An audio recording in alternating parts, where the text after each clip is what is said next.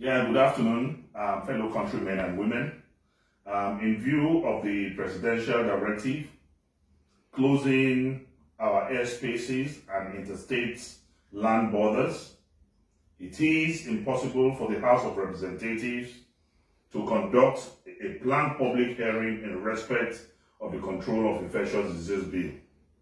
I was a member of the National Assembly and I know before you conduct a public hearing, you must advertise in the national um, newspaper, one or two, um, announcing and uh, inviting general public to the public hearing.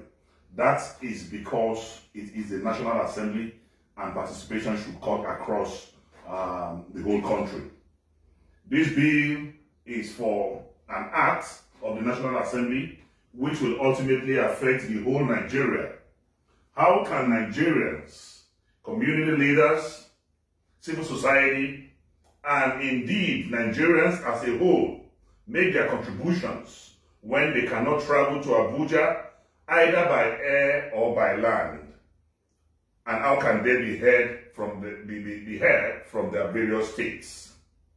I call on the leadership of the House of Representatives to shelve the planned public hearing tomorrow, as it is illogical, except where there are sinister plans, to hold a public hearing when no one is allowed to travel out of the states in Nigeria, except there's a sinister plan to bring Made in Taiwan and um, fake civil society groups and individuals to perpetrate atrocity. Furthermore, I have filed an application for the enforcement of my fundamental right and respect of the said bill in suit number FHC ABSJ CS slash 463 2020 pending at the Federal High Court in Abuja. When this matter came up on the 1st of June 2020, Justice Ijeoma Ojukwu of Court 7 directed or advised parties not to take further step in this matter. Why the rush? What interest is the House of Representatives serving in their haste to conduct a public hearing during a period, a declared, I mean, sorry, during a period of a declared lockdown by Mr. President? If they are serving the people of the Federal Republic of Nigeria, who elected them into office, then the people's voices must be heard. Their participation in a very controversial bill like this is very important and necessary.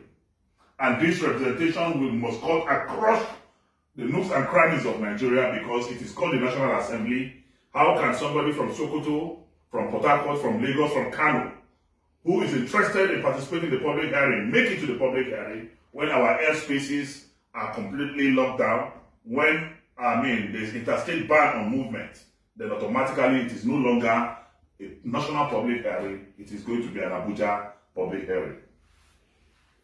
The people of Nigeria can only be, need to be heard.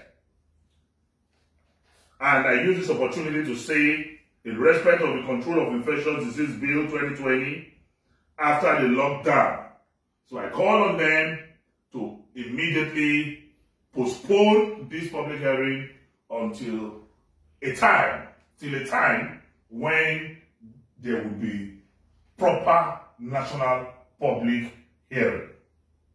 And failure to do this, I will go back to court. God bless the Federal Republic of Nigeria. God bless us all. I am Dino Melaye.